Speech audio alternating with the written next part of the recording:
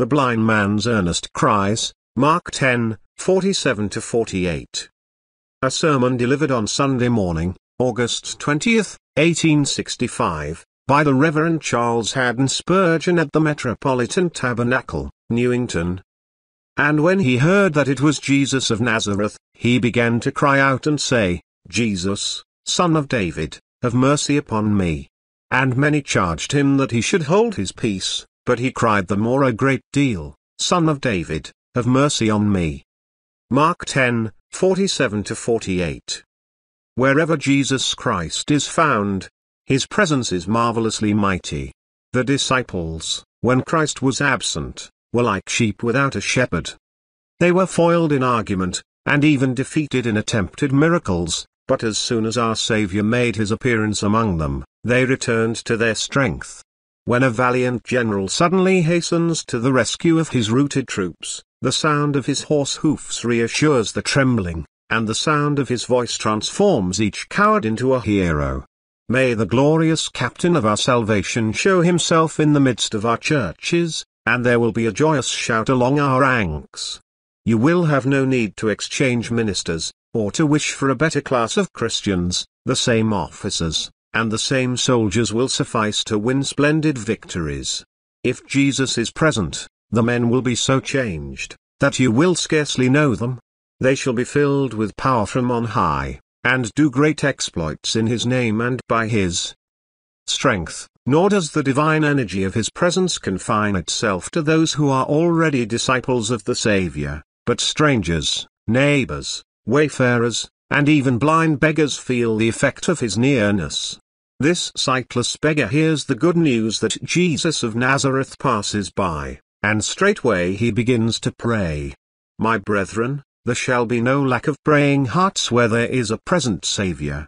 If there are no conversions in the congregation, it must be because Christ is not dwelling there by his Spirit. You have grieved him, and he is gone, you have forgotten him, and he has left you, so that you may come to know your own weakness and learn to glorify his power in the future. If the Lord shall graciously return to his church, cries of penitence will be frequent, and the songs of those who have found peace by faith in him shall go up to heaven in blessed chorus. Oh, that the Lord Jesus would appear among the churches of this our age. We have much to mourn over. Infidelity audaciously seats itself in the chief seats of the synagogue. Romanism secretly eats out the very vitals of our national religion, broad and liberal views act as a moth upon gospel doctrine, Inconsistency of life dishonors the profession of practical godliness. O Lord, how long, how long? If the Lord Jesus shall graciously work by his Spirit among us, we shall soon have our languishing churches revived, errors will fly, as the bats and owls betake themselves to their hiding places when the sun rises, and every sweet flower of Christian grace shall yield its blessed perfume under the genial influences of his celestial rays. I thank God we have had Jesus here. We have often been able to say, the Son of David passes by. He is still here. Believing hearts who recognize his presence and lament when he is absent, tell us that they often find him sweetly manifested to them here in the preaching of the word, in the breaking of bread, and in the fellowship of prayer. He is here now, but oh, we want to recognize his presence more fully, we want to see the divine influences, like streams from Lebanon, refreshing all our garden, we desire to see Jesus working more effectually in making poor sinners feel their need of Him, and drawing them to Himself. Providence at all times co-works with divine grace in the salvation of the chosen people. You have an instance of it here. It was Providence which brought the blind man where grace brought Jesus Christ.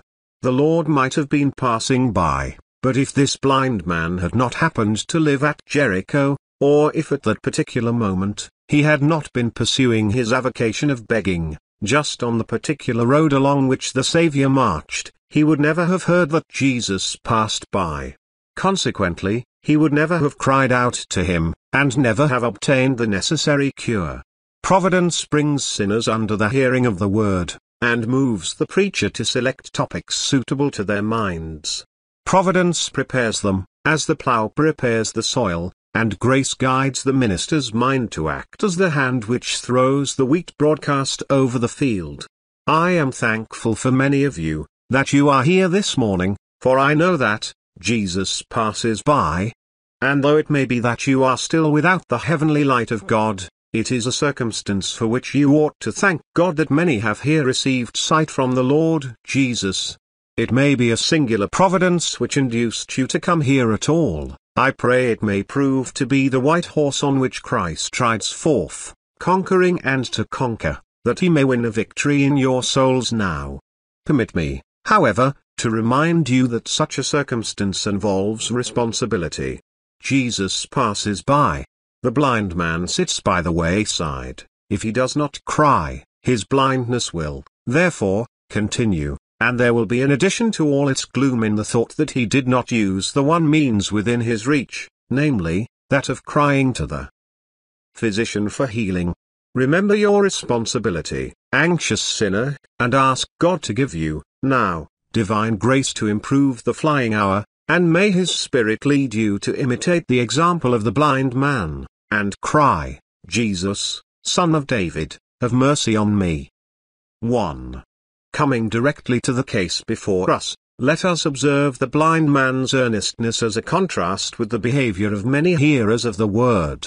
It was a very short sermon that was preached to him. He heard that Jesus of Nazareth passed by. He heard nothing more. I do not know that he understood doctrine, that he knew precisely why Jesus Christ came into the world.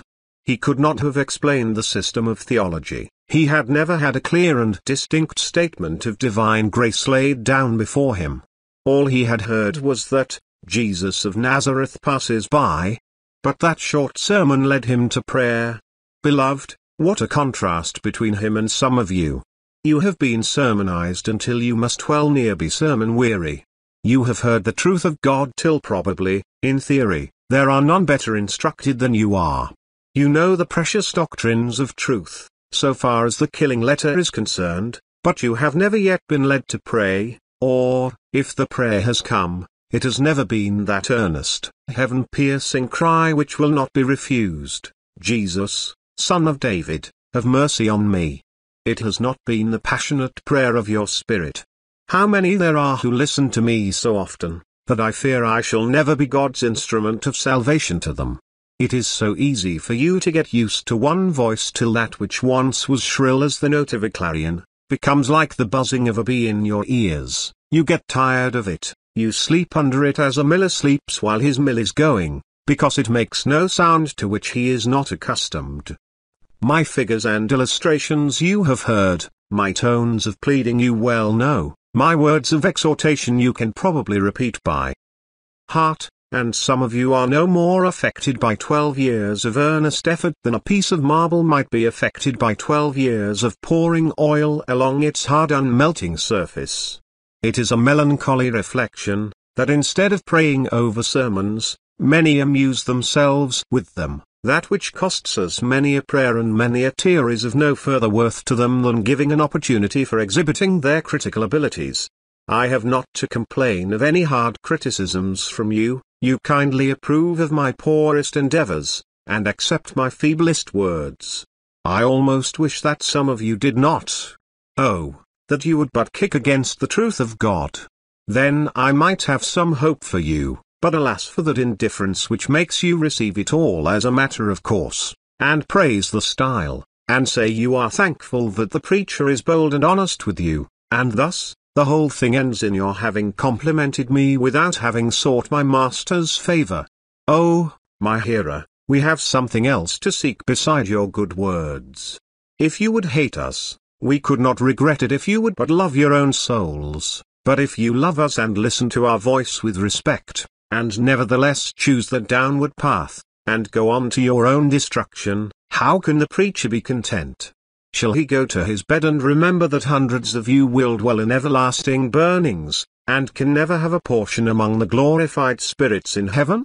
Can he go to his bed and say, It does not matter, they are pleased with me, and I am unto them as one who makes a sweet sound upon a goodly instrument? Oh, I would God that instead of this you were brought like this poor blind man to go from hearing to praying, from your pews to your closets, from listening to me to communing with God, and seeking mercy at His hands. You will say that you cannot fairly be classed in this category, for under the preaching of the word you have been led occasionally to pray. Yes, and I do remember well when I myself was led to pray by hearing the word, but what of it? The prayers of Sunday were forgotten in the sins of Monday, and the anxieties of Sunday were dissipated in the pleasures of the week. It is so with some of you. You pray when a sermon has been especially earnest, when the arrows of God wound you, you weep and you promise amendment, and a thousand fine things. You even dream of flying to Christ and taking hold upon the horns of the blood-sprinkled altar. But yet it is not done. You have made enough resolutions to pave the road to hell, you have piled up enough of your own professions to condemn you to an everlasting insolvency for bills dishonored, and for debts unpaid. Oh, what God you had done with resolving and re-resolving, with these transient and temporary feelings. And oh, that these things would go right through your heart, leaving such wounds as none but Christ is able to heal. Oh, for the effectual work of God the Holy Spirit. What is the value of the cloud of the morning which flies before the gale, or the smoke of the chimney which is gone with the first puff? For eternity, you need something more lasting than the morning dew, something more substantial than chimney smoke. Oh may the Divine Spirit build you with His own right hand upon that good foundation, faith in the Lord Jesus Christ.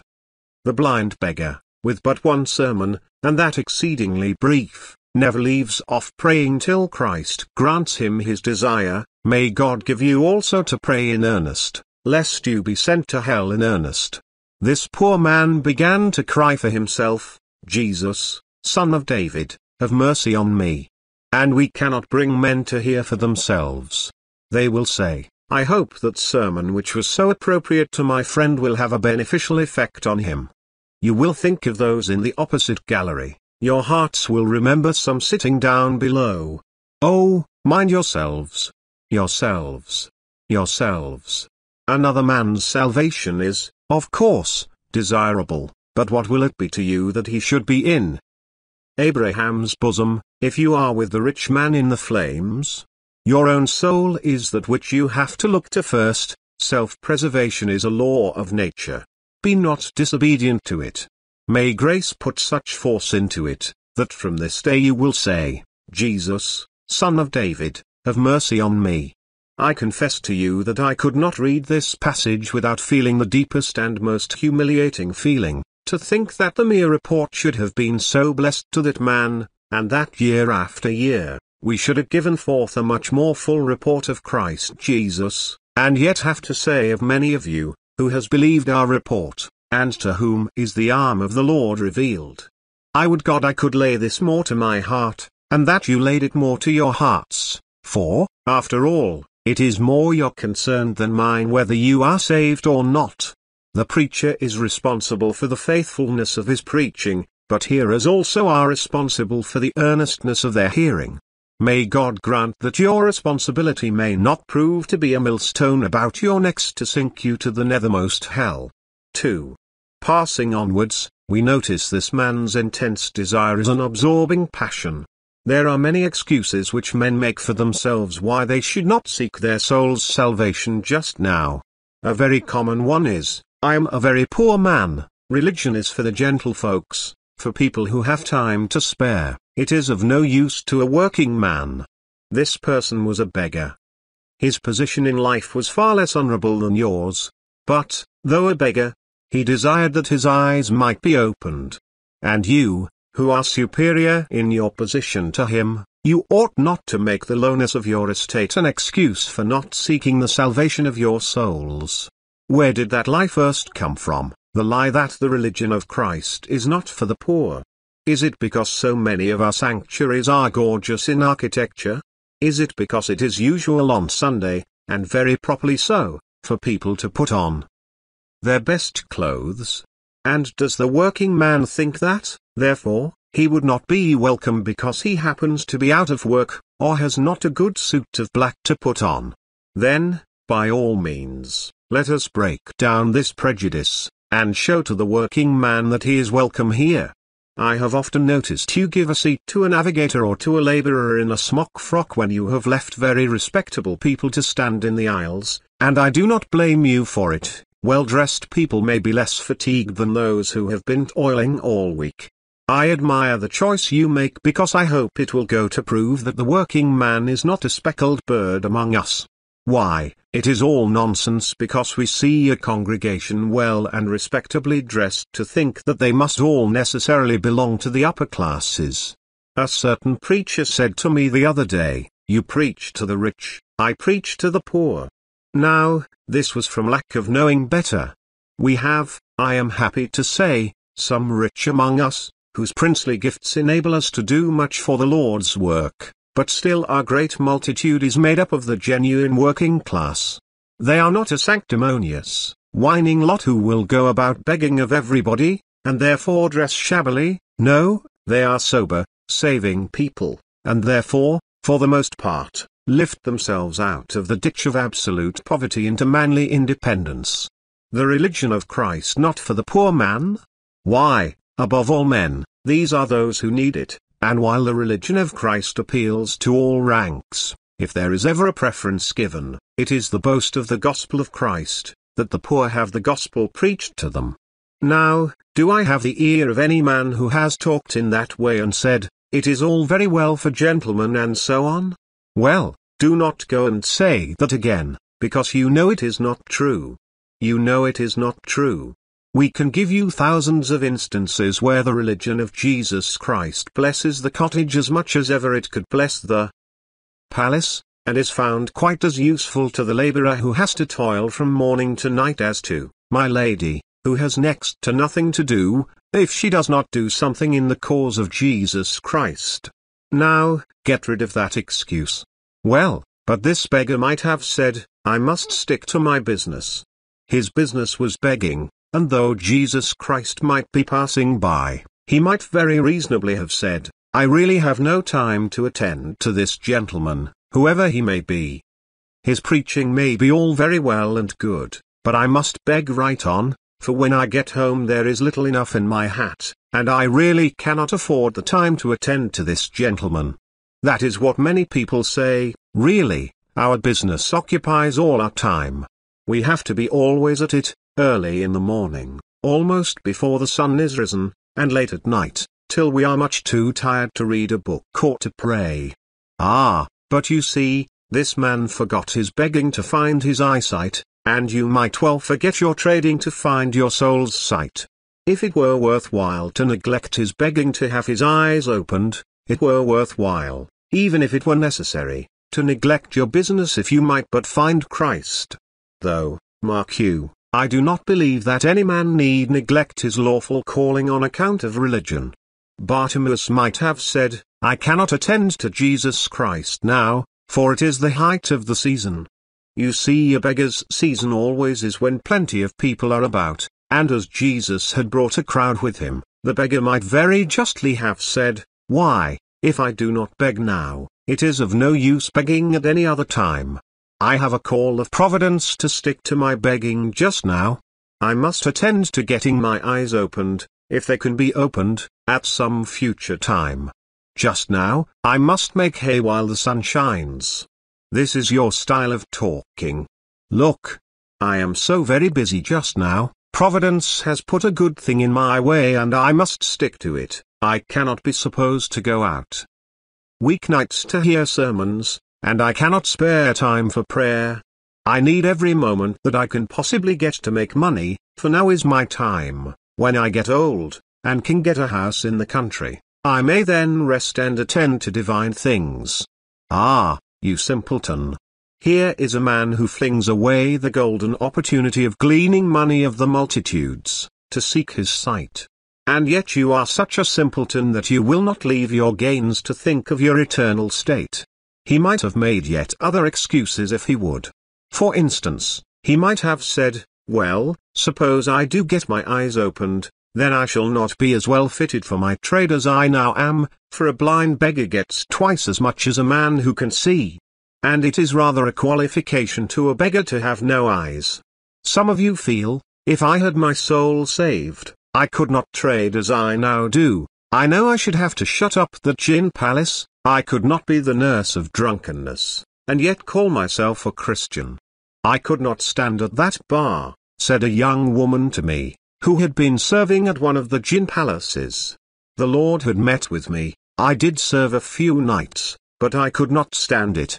I could not serve glasses of gin and then go to the communion table, that would never do.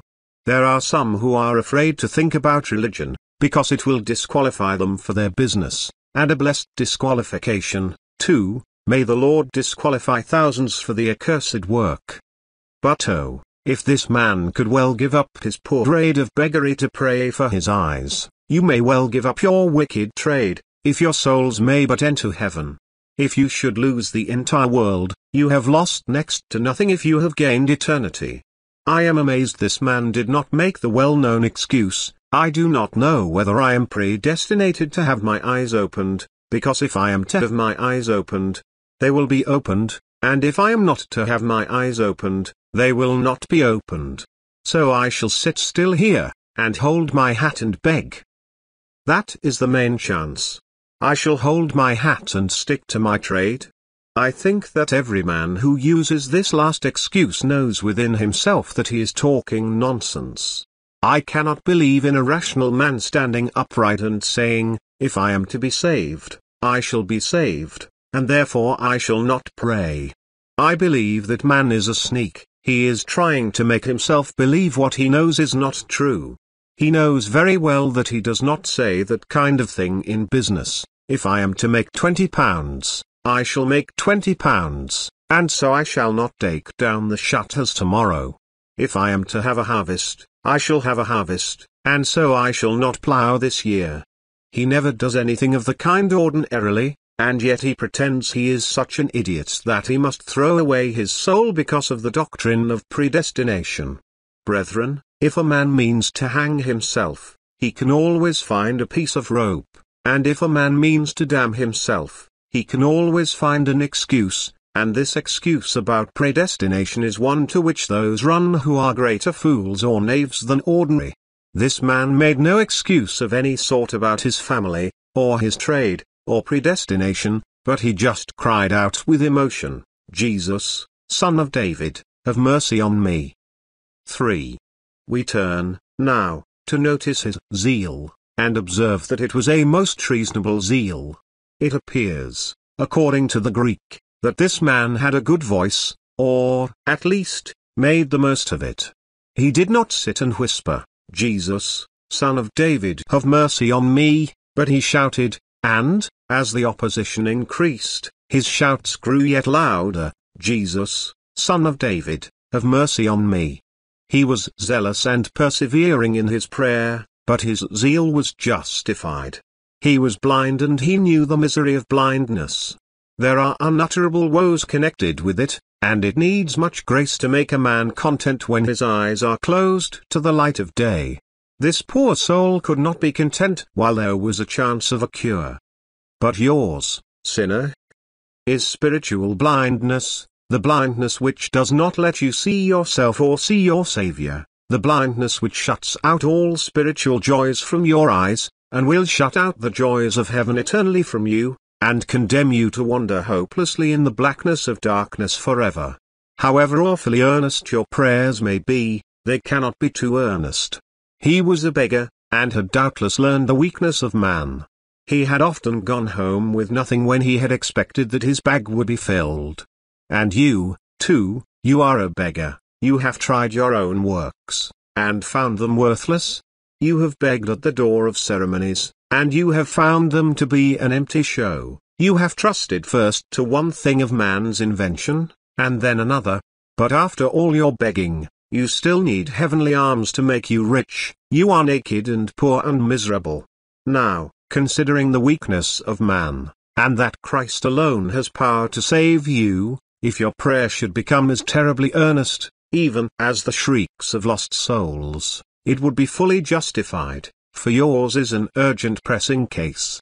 The beggar knew, moreover, that Jesus Christ was near, and when Jesus Christ is near, there is much cause for earnest prayer.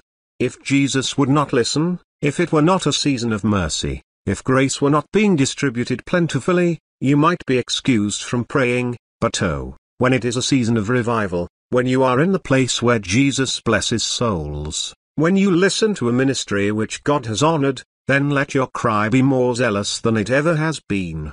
This poor man felt it was now or never with him, if he did not get his eyes opened that day, they might never be opened.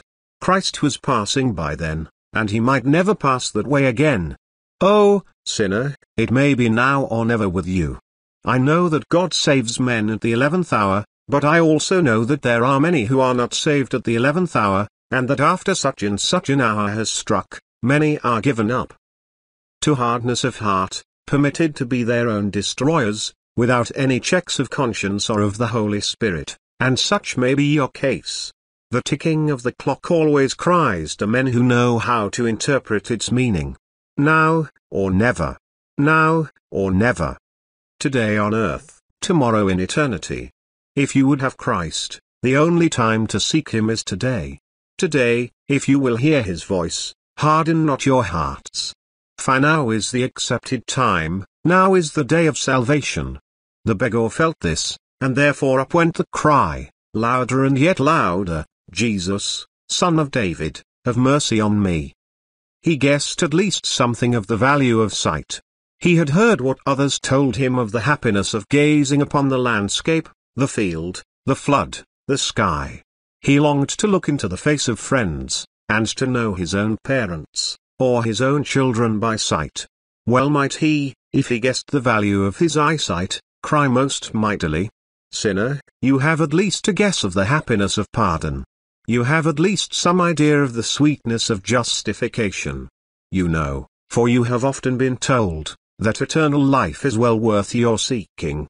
Oh, may the Holy Spirit stir your heart, this morning, till you can no longer keep back the cry, Jesus, Son of David, have mercy on me. I say, if you think of the dreadfulness of his present state, of the hope which the presence of Christ afforded him, and of the blessedness which he might expect from restored eyesight, he had good reasons for being zealous.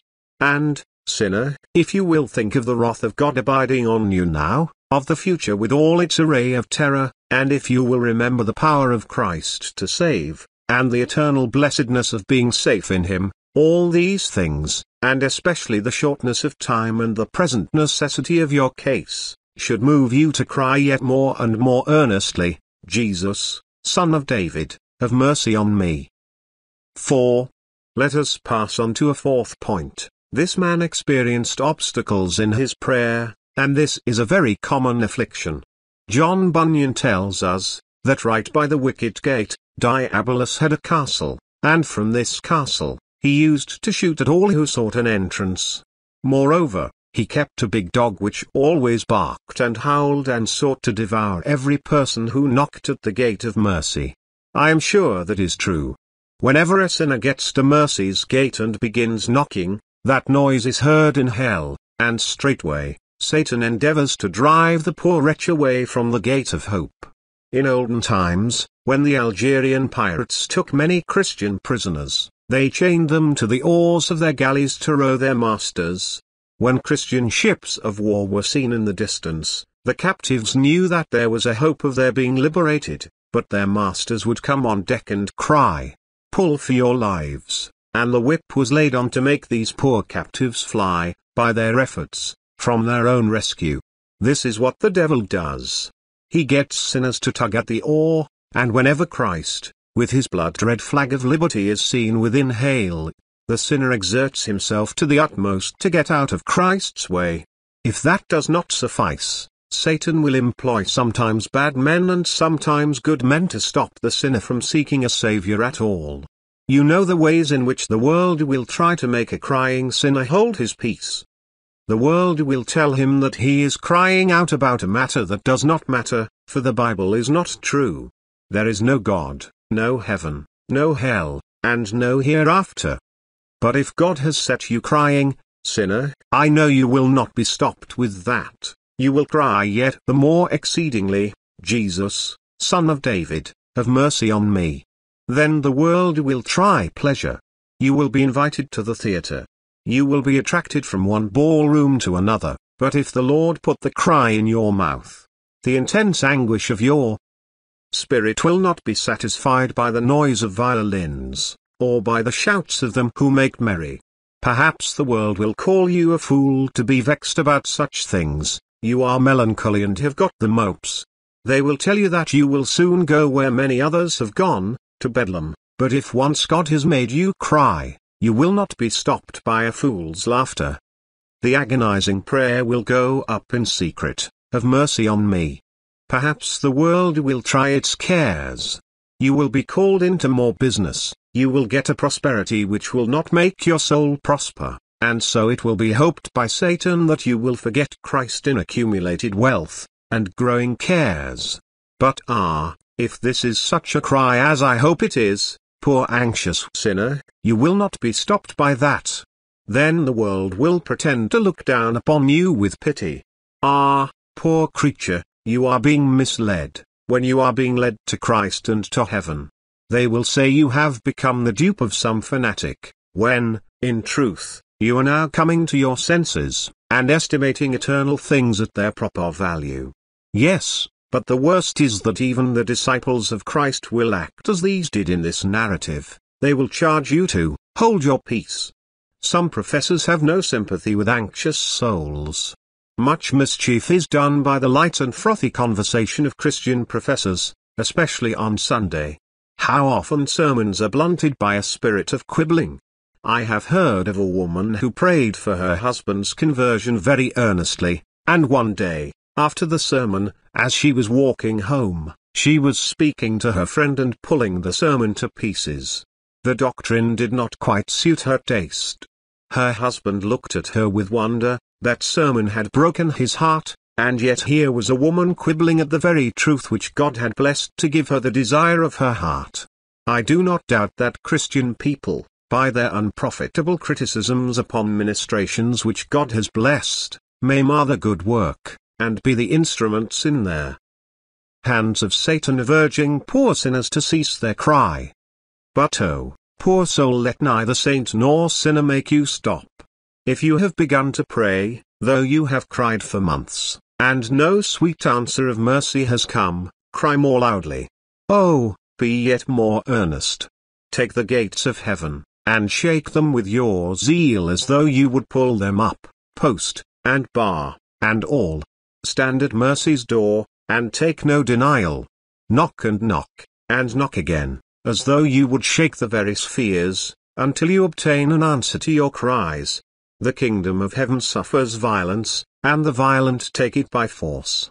Cold prayers never win God's ear. Draw your bow with your full strength if you would send your arrow up as high as heaven. He whom God has taught to be resolved to be saved will be saved. He who will not take damnation as his fate, but who feels he must have Christ, is already under the divine operation of the Holy Spirit. Such a man bears the marks of divine election upon his very brow, such a man must and shall obtain everlasting salvation. 5. I come to the closing point. This man's persistence at last became so mighty that rebuffs became arguments with him. He cried the more a great deal. He took the weapons out of their hands, and used them on his own account. What do you suppose were the arguments that they used to induce him to leave off praying? Would not one of them say, Hold your tongue, you ragged, filthy beggar. Hold your tongue. That is why I will not hold my tongue, says he. I am such a poor loathsome creature that I have need to cry. You gentlemen, who are better off, have no need to cry as I have. But the worse you prove me to be, the more need I have of the Master's help, and therefore I shall cry the more. The devil says to you, Do not pray, you are such a sinner. Tell the devil that is the reason why you will pray, for being so foul and filthy, these are all arguments why you, above all others, should cry aloud, Jesus, have mercy on me. Then they said, Why, you have nothing to recommend you. Jesus Christ has not invited you, he has never looked on you with an eye of love, he has never called you. Then, it is the very reason, said he, why I should call him. If I have no love token, then so much the worse for me, and so much the more reason why I should never be happy till I get one. If he has not invited me, then I will cry to him for an invitation. You see, the more you can prove that the sinner's case is hopeless and bad, you have only proved that the sinner has the more reason for prayer. If I am the furthest from hope, why, then, he who needs to be heard, and is a very long way off, must call loudly. He who is further still, must call more loudly still, and he who is furthest off must be the loudest of all. So if I am the furthest off from God and hope, I will only pray with the greater persistence till I do prevail. Yes, but, said another of them, you make such a noise. Be still. You disturb the whole neighborhood. Ah, says he, I am thankful for that, for now he will hear me. I think this man, if he had heard the Saviour tell the parable about the woman whose perpetual coming wearied the judge, must have said, Make a noise, do I?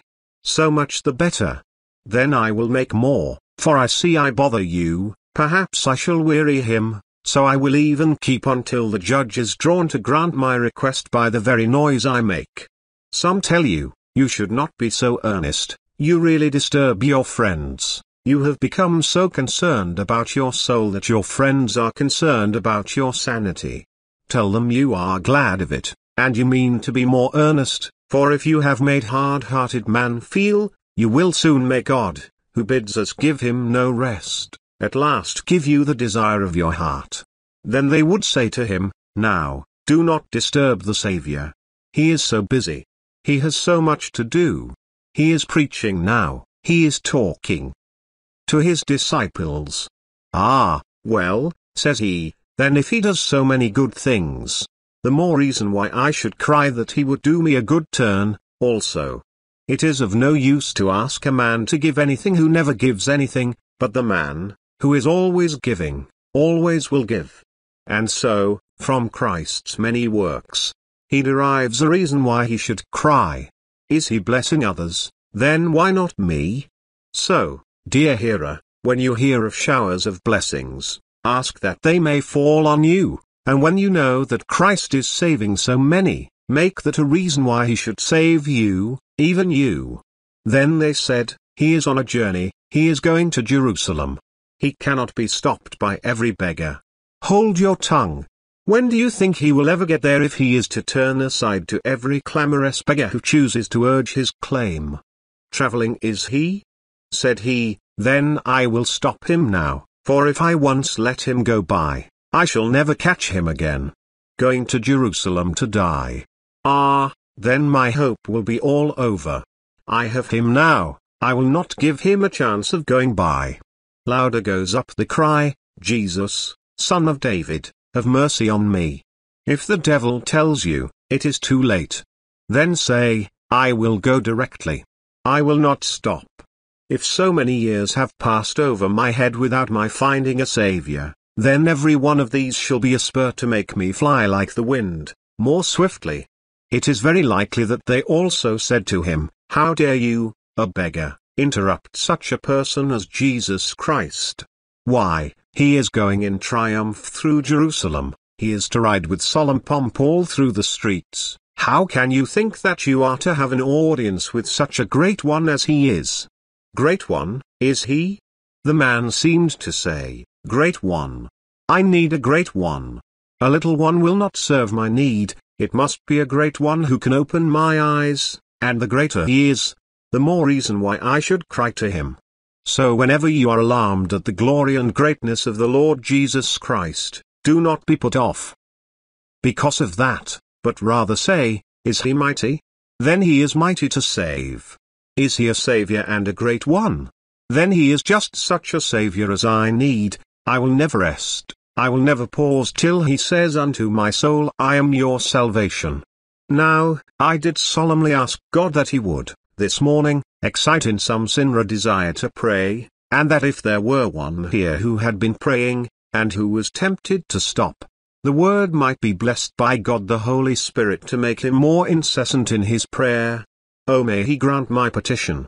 Remember that the only way in which this praying and this waiting will come to an end, is by looking alone to Jesus Christ.